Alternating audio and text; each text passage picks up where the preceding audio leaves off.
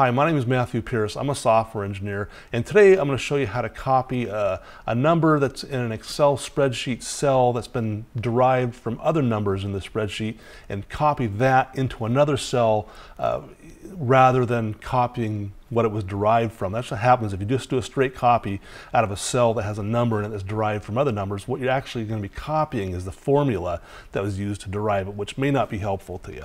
So I'll show you how to do it just to copy the value to another cell. So I have here a uh, Microsoft Excel spreadsheet.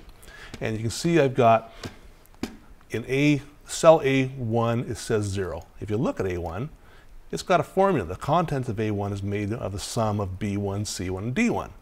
So if I put some numbers in there, you can see that, you know, 1 plus 2 plus 3 equals 6. So there, there you have it, you know.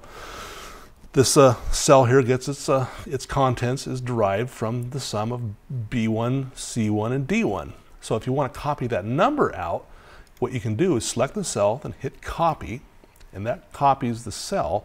But then you go to the other cell that you want to copy it to, select it, and say paste special. Don't just do paste. If you did paste, you'd put the formula in there. What you want to do is paste special.